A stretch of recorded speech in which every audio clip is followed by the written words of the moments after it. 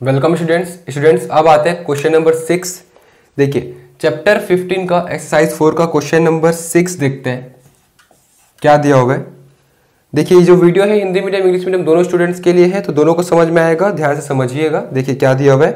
Question number six एक ठोस गोले की, को, जिसकी त्रिज्या दस दशमलव पाँच सेंटीमीटर है। तो एक ठोस गोला है, ठीक है, ये सपोज़ ये गोला है। जिसका त्रिज्या दिया है आर दिया है 10.5 सेंटीमीटर। क्लियर?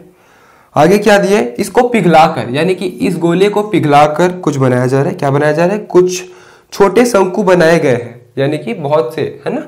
शंकु बनाया गया है, कौन बनाया गया है, जिनमें कि प्रत्येक की त्रिज्या। तो चलो, सपोज़ ये शंकु ऐसा बनाया गया है, ठीक है? जिससे प्रत्येक की त्रिज्या तो इसका आर, स्मॉल आर ले रहे कैपिटल आर ले लेते हैं। इसका त्रिज्या कितना दिया है? 3.5 दिया हुआ है और ऊंचाई यानी कि हाइट h दिया हुआ है तीन सेंटीमीटर बनाए गए शंकु की संख्या ज्ञात करना है तो ऐसा कितना शंकु बनाया जा सकता है? इसको पिघलाकर। क्लियर है? देखिए क्वेश्चन समझते हैं। ऐसा क्वेश्चन हम दो बार बना चुके हैं। एक आ, पिछले प्रश्नावली में बनाया है और पिछले के पिछले प्रश्नावली में भी बनाया है। बस फ़र्क क्या था? पिछले के पिछले में सिलेंडर था बेलन था।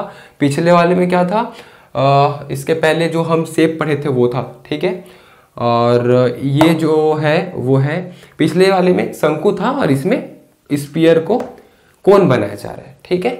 गोले को शंकु बनाया जा रहा है। क्लियर चलो ठीक।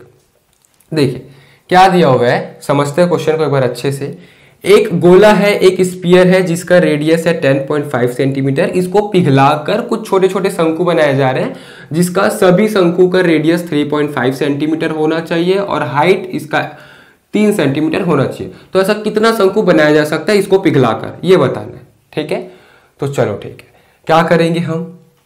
हम लिखेंगे कि शंकु की संख्या, ठीक है ना? शंकु की संख्या अपने को ज्ञात करना है, यानी कि number of number of cones ठीक है?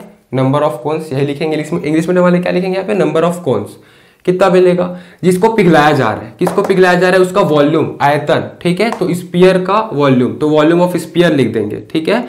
यानी कि गोले का आयतन। गोले का आयतन। Volume of sphere divide by क्या डिवाइड होगा? एक आयतन। किसका एक आयतन? जो बनेगा। क्या बनने वाला है? कौन बनने वाला है ना? तो हम क्या लिखेंगे? वॉल्यूम ऑफ़ वन कोन ठीक है? वॉल्यूम ऑफ़ वन कोन जिसे हिंदी में हम लिखेंगे कि एक कोन को क्या बोलते हैं हिंदी में? शंकु, है ना? एक शंकु का आयतन। क्लियर है? तो गोले का आयतन क्या होगा? गोले, यानी कि स्पीयर स्पीयर का वॉल्यूम क्या होता है? Four by three pi r square small r है तो पाई आर क्यूब होता है एक्चुअली में तो क्यूब कर दिए, ठीक है? एक शंकु का आयतन तो शंकु का आयतन क्या होता है? वॉल्यूम ऑफ़ कोन क्या होता है? ये होता है आपका one by three pi r square h होता है, ठीक है? और आर यहाँ पे कैपिटल आर का यूज़ किया हूँ कोन में तो capital R H capital H ठीक है? चलो, इसको सॉल्व करते हैं। देखो थ्री और थ्री कैंसिल हो जाएगा, पाई और पाई कैंसिल हो जाएगा। तो ये हो जाएगा फोर इंटू आर का क्यूब। तो स्मॉल आर क्या है? टेन पॉइंट फाइव का क्यूब। तो ten point five into ten point five into ten point five.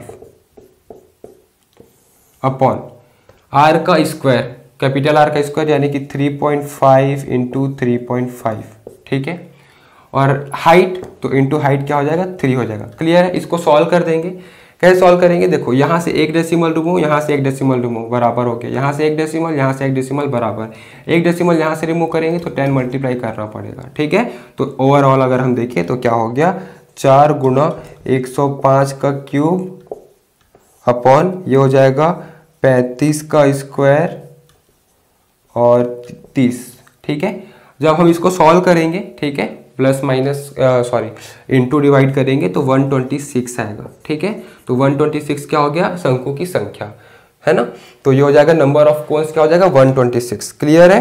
तो उसको आप सॉल्व करना और कमेंट बताना कि 126 आ रहा है कि नहीं क्लियर तो अगर समझ में आए तो वीडियो को लाइक करिएगा चैनल को सब्सक्राइब करिएगा, जितना ज़्यादा हो सके शेयर करिएगा थैंक यू